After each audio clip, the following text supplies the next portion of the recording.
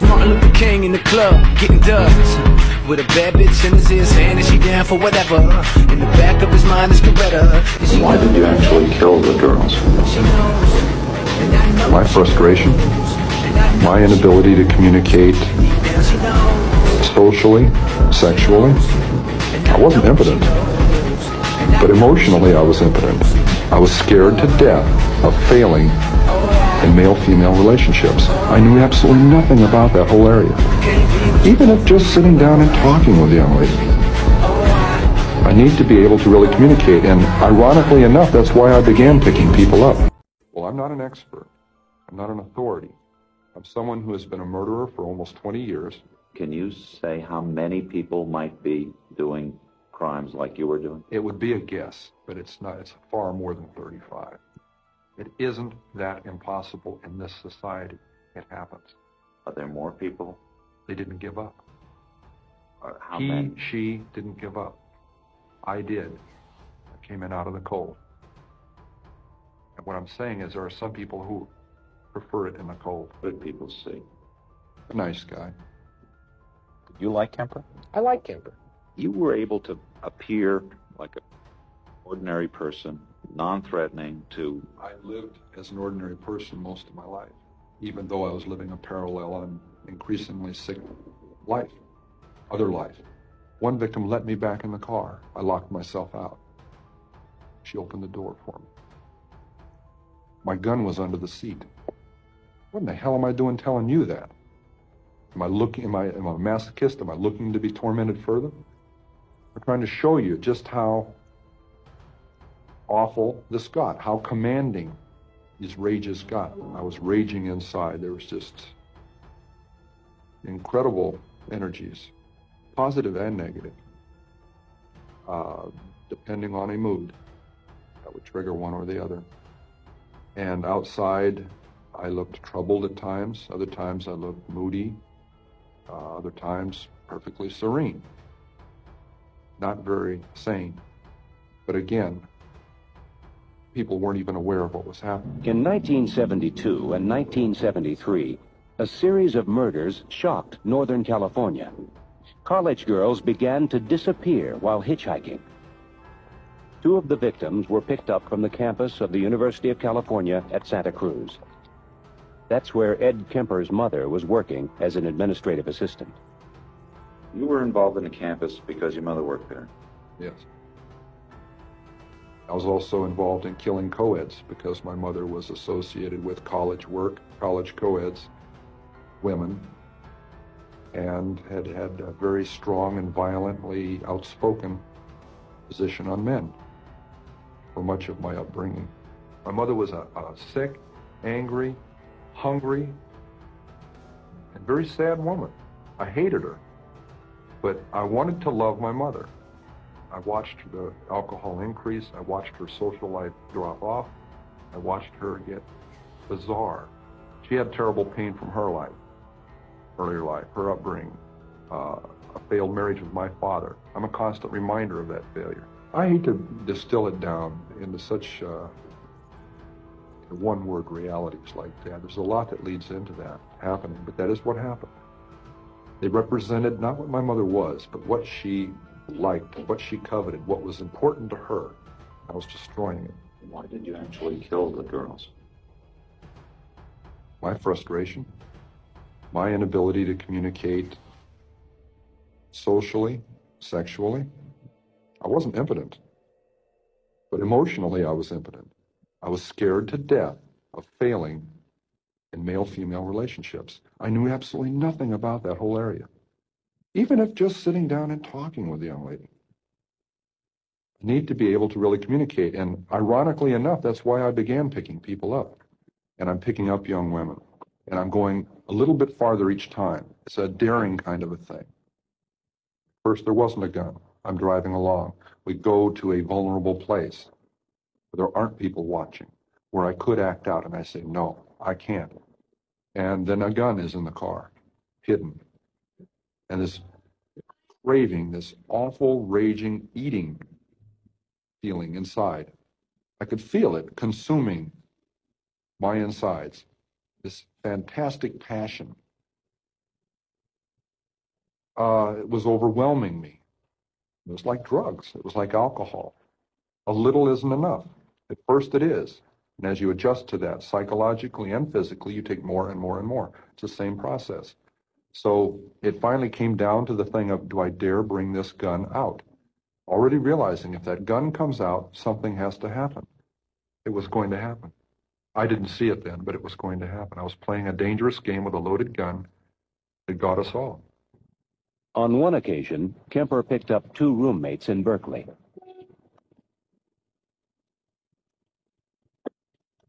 That first killing in May of 72, when that gun was pulled out, I launched it out. I had it under my leg, out of sight, parallel to my, to my leg in the seat. It was something that had been thought out in fantasy, acted out, felt out hundreds of times before it ever happened. Kemper drove them at gunpoint to a secluded area near a park. He took one of them into the woods, leaving the second girl tied in the car.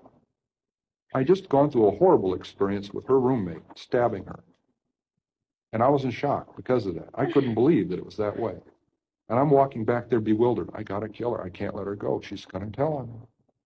I wanted to kill my mother since I was eight years old, and I'm not proud of that. A month later, I'm living with my grandparents in the mountains. Ten months later, I'm murdered. It made it worse to be on top of the mountain. I was literally on top of the mountain when it happened. And I could sense, I sensed everybody in the world just stopping what they were doing, turning around, saw what I did, and are coming to get me. And I knew I was paranoid at that point. I knew anybody that came up there and gave me a funny look or a fishy eye or quizzical look, I'd have blown their brains out thinking they were coming to get me. And if it had been in a city, I would have been a mass murderer at age 15. I would have killed until they gunned me down. I wouldn't have been able to reason my way out of it. I was scared to death and I was violent. I felt my back hit that wall. I was the rabbit that always ran, that always backed away, always burned his bridges. Suddenly there weren't any more, and I, my back hit that wall, and I came out screaming, and kicking, and shooting. Ed Kemper was detained in a mental hospital from the age of 21 for the murder of his grandparents, but was later released on the advice of psychiatrists. Within two years, he had decapitated and mutilated six students as well as his mother and her best friend. He sometimes raped the corpses. In 1973, he gave himself up, since when Ed Kemper has been detained in a reform hospital in California. Have you got anything for me, Paul?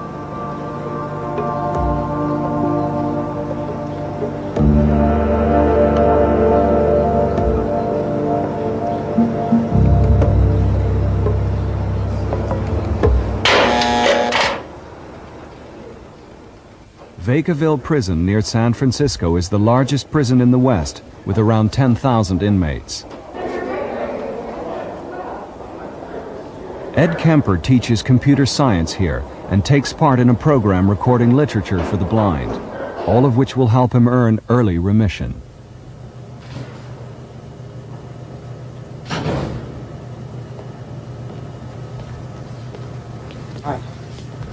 My younger sister's two years younger, and I developed some morbid games. Um, my life had started going that way at about eight. At a certain time of the evening, the family left the center room, the, the living room of the house. My mother and my sisters, or my sisters themselves, would go up to bed upstairs, where I used to go to bed upstairs. I had to go down to the basement. And an eight-year-old child had a tough time differentiating the reason in that. Why am I going to the basement? I'm going to hell, they're going to heaven. And what were those games that you played with your sister? Okay. Well, the one I remember uh, someone talking about in a, in a book was one who was playing gas chamber or electric chair or something. And we had this big old overstuffed chair up in my room. And we'd, we'd uh, it was not just my sister and I, it was my sister and I and a friend, close friend. We got into all these games. We got into one game where we'd roll up in a rug and a person would try to get out of it. It's just like a large throw rug. And it was, uh, I guess, what fascinated us individually about it is it was a completely, uh, it broke up the monotony, I guess, of what we were doing. Didn't have a lot of toys to play with. Uh, we got bored with those pretty quickly. So we looked for things to do. You roll up in the rug and, and you try to get out, and the other two would leave the room, and we see who could get out fastest. You know, you try to work your way out sideways or scoot out the end of it or whatever. And uh, went from that to being tied in this overstuffed chair with a cord or something or, or pieces of sheet or sash or something, and uh, went through this process. I guess we're, that's back when, in 1960 when uh, Caryl Chessman was executed. What were those fantasies? What were they? Yes. Um, possessing the severed heads of women. Men didn't turn me on. That wasn't very, I couldn't appreciate the appearances of a guy.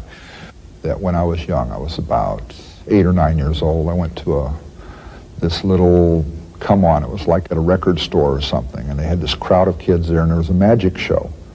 And this guy, you've probably seen it, the fake guillotine, hand pressed, and they put the potato there, and someone puts their neck in the, uh, in the brace, and they slam this thing down, and the potato down below chops in two, but the person's head doesn't fall off, right?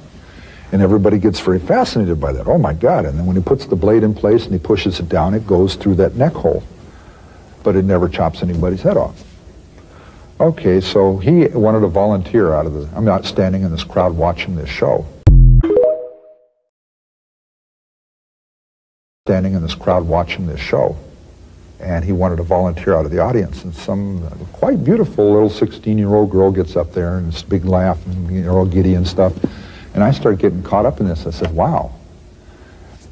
Uh, right at that moment, I departed reality because logically, I should have been able to ascertain that that could not happen. You're not going to get away with chopping somebody's head off in the middle of, uh, in the middle of Helena, Montana, the capital city.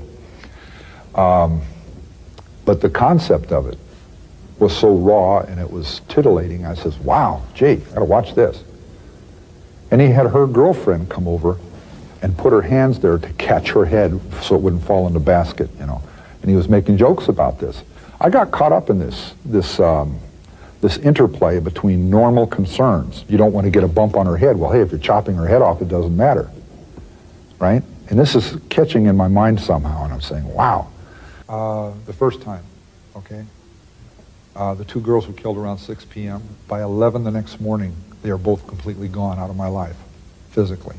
All right, that's not even 24 hours. The third murder, which is the second incident, okay, uh, I'm in the middle of trying to get my record sealed, right? Thursday night, I killed her. I took off Friday. I didn't go to work. I called in sick, took CTO. All right? Dismembered her body. Got rid of her body, but kept her head in her hands because they're identifiable. They're highly identifiable. I kept those at the apartment. Okay? That Friday night, I, uh, Thursday night, I took her. Friday, uh, Friday morning, she was dismembered. Friday night, she was disposed of. Right? Saturday morning, I left. Right? And I didn't have, I wasn't satisfied that I, I took the head along in the hands, but I didn't, I couldn't put them someplace that I would, could be sure they would be dug up by an animal or just be somewhere. It was, it's scary going out there trying to bury somebody or dispose of body parts in a community or out in the, even in the boonies where you don't know where you're at and who can come up at any moment. I had some real close calls there where people had come out of nowhere. And if they, if a body's found and they remember this beige-looking car sitting there the night, that's evidence. So it was very, very hard to get rid of this stuff. So anyway, Saturday morning I went to see the psychiatrist in Fresno. Saturday afternoon I saw the other one. Saturday evening I'm with my fiance and her family over in Turlock. Sunday night I come back to my apartment. Could you tell us how long you've been imprisoned? Excuse me. Uh, this month is 18 years that I've actually been in prison. What were you convicted of? Eight counts of first degree murder. And what was your sentence? Seven years to life, um, CC, that's called uh, concurrent. It means all the sentences run at the same time. Two years uh, before you committed the crimes, uh, I think you traveled quite a lot on the freeways at night or picking up hitchhikers During the day. during the day. Yeah, I traveled a lot because I'd been locked up for five and a half years. I had never had a license. Well, I'd just gotten a license when I got locked up the first time, a Montana license. And um, uh, so I was free. The driving around was a, a way to exhibit that freedom, to demonstrate it, to get the cobwebs out of me. When I first got out, I loved to drive. I always did love as a kid to drive. I started driving when I was 10 or 12 years old, but I got a license when I was 15 up in Montana. and then I got locked up, and then uh, here in California, and I got out, got a license, and I just started driving. And uh, that was my main hobby, I'd say. And I saw a lot of people out hitchhiking, and I didn't select girls to pick up. I picked up anybody who wanted to ride. And over that whole three-year period, that whole three-year period, it was the same way. If someone needed a ride, I picked them up, unless specifically I was looking for someone to do in. The crimes, are, it, it goes from, uh, from May to May September. May 7th, Sunday, to Thursday, September 14th. Then it hops over to January, right? And then to February. It's speeding up. It's coming to a head. It's getting to where uh, it wasn't a cyclical thing, but it was coming to where uh, it was coming more often. And something I didn't tell a whole lot of people, I guess I did tell in one interview, uh, shortly before it all ended, I drove up to the Bay Area, and I was, well, I was living there. I was up in, in Alameda. But I was living with my mother in Santa Cruz and commuting because I had to work up there, and I stayed with a friend. I went out to Berkeley, and I drove Ashby Avenue, one of the places I used to drive, looking for co-eds. And I drove from uh, Highway 80 up Ashby Avenue to Highway 13. The first two co-eds I killed were on Ashby Avenue. They were five foot two, slight of figure, you know, uh, we call petite. And, one's black hair, one's blonde hair, okay? And I'm driving the opposite direction up Ashby Avenue. It's a year later. I'm seeing if I can maintain. I'm not hunting. I'm out seeing if I can maintain. I have a weapon in the car. I have everything else fitting the, the situation. I'm seeing if I can maintain. If I can just let go of it and maintain and marry this young lady and go on. I go driving up there, and here's these two young ladies, five foot two. One's got blonde hair, one's got black hair. They're in granny dresses, and I'm having shit fits because it's like deja vu. And I, oh my God, I just, I acted in a way that they wouldn't be paranoid because I'm a young man by myself in this car. I diffused the situation as I drove up. I'd gotten practice at that. All that driving around, it wasn't rehearsing. I made a game out of driving around, picking people up, and later on I discerned that some people wouldn't get in my car because of the situation. I'm a young man by myself. It's unsafe. So I thought, well, gee, I, you know, that kind of put me off. I'm not doing anything to anybody, so I want to see if I can change that situation where they'll want to get in and I can take them where they're going. Because I know I'm not going to do anything. And I got to where I could diffuse that situation. It's how you're looking. If you look, oh boy, I already start cranking the car over there. They're not going to get in your car because they can see you from half a block away drooling. But if you look at your watch and say, geez, I don't know if I have enough time, and you're kind of in the mirror and looking around, ah, and you pull over, this guy's just a businessman going somewhere, and get in his car, we'll go where we're going. And it's little games I played so they'd get in the car. And then we chatted, and I talked about things, and I found out where their orientations were and their little, what they used to judge and who could get in and who they could get in with and who they couldn't, right? In that sense, it's been interpreted as, as, uh, as what do you call it, rehearsing. It's not true. It's like playing chess and then turning it into something ugly. I played chess casually. I played chess more and more thoroughly till I got very good at it, which was picking up people to where I could make you a bet. I can pick up those two ladies. And they'd say, oh man, you're crazy. Those are two very crafty young ladies who won't get in a car with a young man by himself, et cetera, et cetera. And I'd win the bet because I knew how to diffuse the situation. Even if they asked, where are you headed? Right? And they had a sign saying where they're going, but they'd ask, or if they, even if they didn't, they'd say, where are you headed? And I had ways of developing it to where they wouldn't get suspicious. But I didn't mean I was going to kill them. It meant I was playing a game. And then later, when I started killing people, I used that against them. But initially, it was just a hobby, it was a habit. It was trying to fill in the blanks of five and a half years of not being in society. I missed that flower child generation. I missed the entry into Vietnam, all that stuff. And all these kids are like aliens to me. I say, fill in the blanks of five and a half years of not being in society. I missed that flower child generation. I missed the entry into Vietnam, all that stuff. And all these kids are like aliens to me. I say kids. I missed 16, 17, 18, 19, 20, 21. I'm supposed to be associating with people in their adult years, but I missed a big chunk, so I'm out there trying to fill in the gaps. Find out why these kids are the way they are now, because they were totally different from the kids that I was when I was that age, totally different. And I'm trying to fill the gaps in. And then later I changed that to something ugly. And why? My mother works at the university. My mother won't introduce me to any young ladies at the university because I'm like my father and I don't deserve to know any of those young ladies. So here she is holding these little girls up there as too good for me. Very special.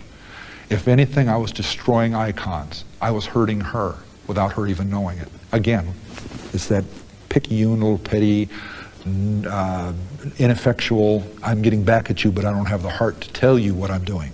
See? Why would I admit those things on a camera? That's embarrassing. It's humiliating. And how would you select your victims? Were they... I didn't select them. It was random.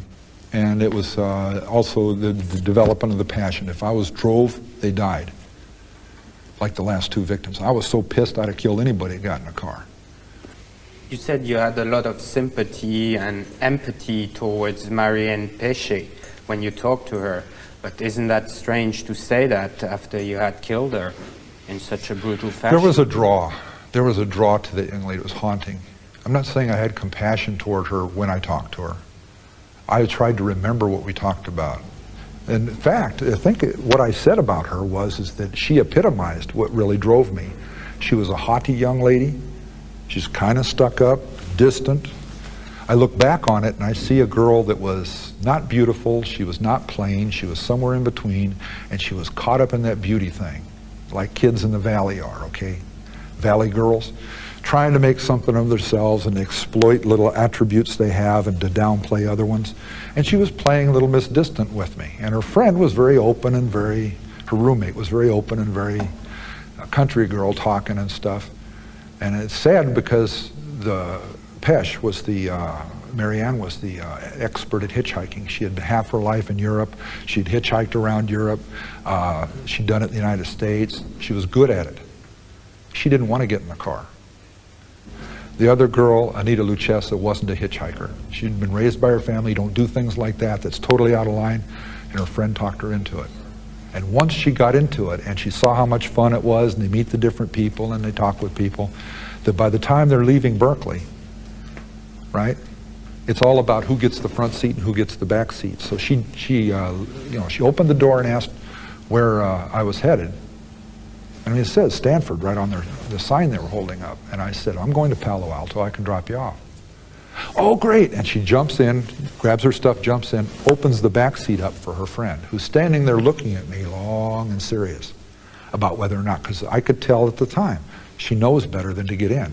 Single adult, it's a coupe instead of a four-door car, so she cannot get out other than through the front seat. So that's all the warning signs of not getting in with a single, you know, in that kind of a situation. Uh, all of the things were wrong about it. But when I drove up, I pulled that little stunt of looking at my watch. You know, do I have time to pick them up? And you wouldn't believe how much effect that kind of thing has. And when she kept staring at me and looking, looking for something wrong in my eyes, I gave this look back like, I don't understand. Why, why are you looking at me like this? I gave her that back, and she says, oh, this guy's a dork. He's innocent as hell.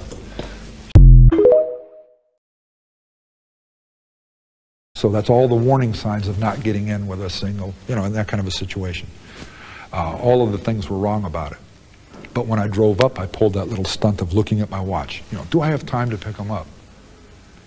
And you wouldn't believe how much effect that kind of thing has. And when she kept staring at me and looking, looking for something wrong in my eyes, I gave this look back like, I don't understand. Why, why are you looking at me like this? I gave her that back, and she says, oh, this guy's a dork. He's innocent as hell. She gets in. Okay, we're driving along, and I'm looking at this young lady in the rearview mirror. And I look back at it years later, and I'm saying, she kept looking me back too, right in the eyeballs. I'm wearing dark glasses, but they're not totally dark. And I'm realizing now that she could see me looking at her, and she was looking right back at me. And instead of saying something to me like, what are you looking at? Or, hey, maybe you ought to drop us off or something like that, she just kept looking back at me. And I'm looking at her, and she keeps looking at me. And I'm thinking she's playing this little game. It's, uh, it's not really teasing, so to speak. It's just this little psychological game back and forth that men and women do sometimes. The young girl in the front, uh, Anita, was uh, at one point in the in the in the driving, and I'm sure they were doing little looks at each other and little comments that I didn't pick up because I'm driving and looking for places to go. that uh, somewhere in that communication, she gave me this sexy little look, you know, like, oh boy, you know, you're a pretty good looking guy, you know, da da da. And uh, I smiled back at her. But not this hungry, oh yeah, yeah, I like to get down with you kind of thing. It was just I smiled back at her and I saw it for what it was. It's an 18 year old girl that's feeling her oats. She's not doing anything wrong. It's, it's sad and it's real pathetic. But some of this stuff was, I was getting real caught up in this girl in the back seat. You know, I was, uh, she was, you know, to me at that point, she was really beautiful. She had the most incredible blue eyes, right? She had this really shiny black hair that was turning me on. And I was getting drove because I just kept playing this game of picking people up, and, and I had plugged in those fantasies of killing people. And, you know, the titillating little fantasies, and I says, geez, uh, I keep walking away from that. And I put myself down as being weak for not being able to do something about that. Right? So I kept driving and driving on myself saying, I got to do something. I got to do something about this.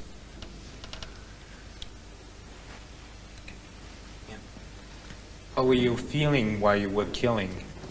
What? Well, you said especially the first two, which were very messy. It was a shock that first time. That horrified me. I did everything stupid, everything wrong. If I were trying to get away with it, it was just really, really dumb. The knife I fell back on. That was a fallback position. I was trying to smother her. That didn't work. And she was struggling against that and arguing with me about it. And uh, uh, I got frustrated and I reached in my pocket. I had that folding knife and I pulled it out. And for a lot of years, and I, I, I, made a point of saying back then with the investigators, when I pulled the knife out and locked it into place, it clicked. And she said, What's that? That's a quote. What's that? And she was kind of like a yeah, yeah, naggy kind of thing. What's that? And I couldn't figure out why she said that.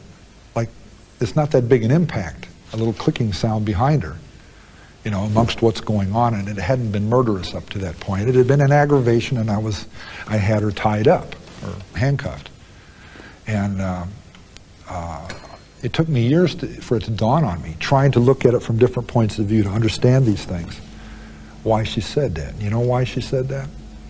Because I had brandished this gun, and I had cocked it once, and it clicked. So in her mind, very possibly, I had pulled the gun out and was going to shoot her. So she said, what's that? And thinking I've pulled the gun out now and I'm and these things. Why she said that. You know why she said that? Because I had brandished this gun. And I had cocked it once and it clicked. So in her mind, very possibly, I had pulled the gun out and was going to shoot her. So she said, what's that? And thinking I've pulled the gun out now and I'm cocking it. Not realizing I'd pulled a knife out. I still had the gun in my pants. I stabbed her. She didn't fall dead. You're supposed to fall dead. You're supposed to go, oh, and fall dead. I've seen it in all the movies, right? Doesn't work that way. When you stab someone, they leak to death. They lose blood pressure, and you stab them more and more and more. You complicate it many times by where you're hitting, the pain you're causing, and the aggravation of the person involved plus whether or not they leak a little faster. It wasn't working worth the damn. I stabbed her all over her back, and, and she even turned around. I stabbed her in the side and the stomach once. Why? As she turned around, I could have stabbed her through the heart. But her breasts were there. And it actually deflected me. I couldn't see stabbing a young woman in her breast. That's embarrassing. I didn't say that to them back then, I don't think. I may have. But that's humiliating to admit that, that I was that affected by her presence. I stabbed her in the belly. That had to hurt worse. I didn't do it to make it hurt. I was trying to shut her up. And she ended up getting her throat cut. And uh, I learned the term ear to ear, what that meant, because that's the way it went. And uh, she went out of it completely right then. She lost consciousness and uh, died probably just moments after that. But I just backed up out of the car. My hands are covered in blood, and I'm saying, "Oh God, I did it! I did it! I don't believe it! I did it! Shit! I done it! Now I got to kill the other one." And at, toward the end, when I picked those two girls up, and I said they were just like the first two, like Marianne Passion and Anita Luchessa, who'd haunted me all this time, and now two more just like them get in the car. We drive up 13, and we get to this figure eight uh, cloverleaf interchange where it hits 580, and they want to go under the freeway and back up on and head out this way. And out that way, I happen to know just a couple of miles down the road is Palomares Drive, where I took Anita Luchessa and Marianne Pesh and killed them. Mills College is back this way, toward downtown. They don't think so. They want to go this way. I'm saying, gee, you don't want to go that way, and I can't tell them why. You do not want to go that way. Mills College is this way. Well, no, we, we go there, and we know where it's, we live there, and, and uh, we want to go. And as we're approaching this interchange, I'm saying, no, we need to go in the right lane, get up on the freeway and go downtown. You want to get in the left lane, go under, cross up, and that's going to be another step closer to you dying. Because even if I don't go all the way out to Palomares Road, up 580, if I stop where it starts to go out in the country and I get back on the freeway, that's where I used to work on the highways. That's one of the places where it's a cul-de-sac. You drive down there, it's a very quiet street, comes down up onto the freeway very sharply, and they're dead. If these urges take over. And if I go that way, it's not encouraging me to stop. It's testing beyond where I want to test. We've already gone beyond that by them getting in the car because, geez, it's just like those first two. I was actually scared to death I was going to kill him. And I, by that point, I had killed all of the co-eds. It was two months after the last two. And I'm seeing if I can pull out of it, like, like drinking or something or smoking. And at the point where we're bickering, if they'd started shrieking or banging on the windows, I'm busted. They're going to pull me over, someone's going to call a cop or something, and they're going to get me and probably bust me on these other cases on a fluke. And I'm trying to save their lives. I don't want them going that way because I know Mills College is this other way.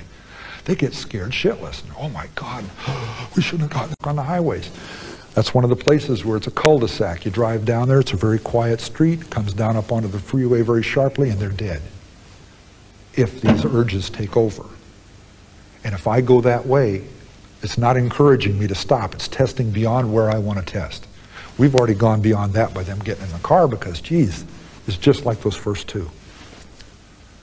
I was actually scared to death I was going to kill him. And I, by that point, I had killed all of the co-eds.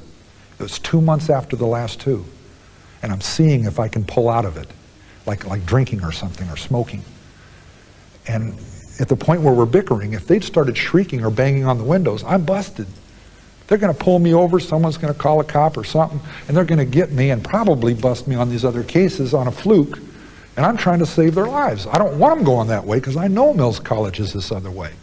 They get scared shitless. And, oh my God, we shouldn't have gotten this guy's car, and they're getting all puckered up and, and and I said, just bear with me, be patient. If I'm wrong, we'll get on the turnoff, we'll go right back around, we'll take you out your way. But I know it's the next turnoff or the one past it this way, downtown. Trust me, please. And they're sitting like this and they quit talking to me and they're looking straight ahead. And I'm saying, oh shit. Guns under the seat, so all just, you know, whoa. I get up on the freeway, two turnoffs, Mills College. In fact, the next one said Mills College next exit, you know but they're not, not relaxing or nothing. I had refused to take them the way they wanted to go and pushed it the other way. That's what scared them. But they didn't know the irony of it was if I'd have gone along their way, I'd have probably said, yeah, yeah, well, I'll just follow on through and oops, we'll do it one more time. How do you oops human lives? Two young, I don't know those two young ladies, and I don't know where they are today, and I don't know that they remember that little incident. But when I drove them to Mills College, inside of Mills College, to their college entrance, right to the building, to the dormitory, and they got out of that car and flew up those stairs. Never even looked back. I'll bet they quit hitchhiking quite so casually after that. But you know what? I don't think they know to this day how close that came. And, uh, and the irony of it is, uh, it just, to, just to shut them up and not have them freak out, I could have gone the other way. But by that time, then we're going back up that groove of what I had done already and what I was familiar with. See what I'm saying? And that day, I knew I could not stop doing it. I knew I had no control over it. I had just minimal controls. But mainly, I could not stop it. It was going to happen again. And between that weekend day, it was a Saturday or a Sunday, I think it was a Sunday, between that Sunday and the next Saturday, all that week I was working, I built an image in my head, my mother's going to die. I'm going to kill her, and I am going to go to it with the police, and we're going to hold court in the street, and they're going to pound me in the ground, and they can fill in the blanks because I don't want to be around to explain it. all that week, I just, it was a conviction that just got deeper and deeper in me. I got more and more morose. I got less and less talkative at work. I got more somber about what I was doing because every, almost every minute of every day, I knew that's what that next weekend held. That was Easter weekend, right? Worked half a day Friday, went back to Santa Cruz Friday afternoon, was drinking Friday night, fell asleep before my mother came home, woke up after she came home. And the last words we had were an argument. Right? I walked into her bedroom to chat with her. I was, I, in the back of my mind, I'm not going to try and blame her for dying. I'm just saying, in the back of my mind, I was hoping she could say something or I'd say something that could stop all of this shit. A little childish hope in the back of my mind that she'd say something and I'd just, I'd play it off. I'd, I'd But you still went with a hammer. Wait a minute, wait a minute. You're, you're wiping out the moment here. I went in there hoping I could stop this stuff in the back of my head. I'm not planning on it. I'm just a little hope. And the first thing out of her mouth was she's reading this book and she just flaps it down on herself and says, Oh my God, I suppose now you want to stay up all night and talk. That was one of her favorite peeves when I come in late at night and want to talk. And once in a long while, like that night, I spun on my heel and said, Nope, good night, and walked back out. And she knew she'd hurt my feelings, and the next day we'd sit down and talk. Except I knew that we weren't going to talk. And I went back in my room and I laid down. I did not go to sleep. I laid there for four, well, three hours, four hours, till four, five in the morning, a little after five in the morning, and walked in there with a hammer and caved in the side of her head and cut.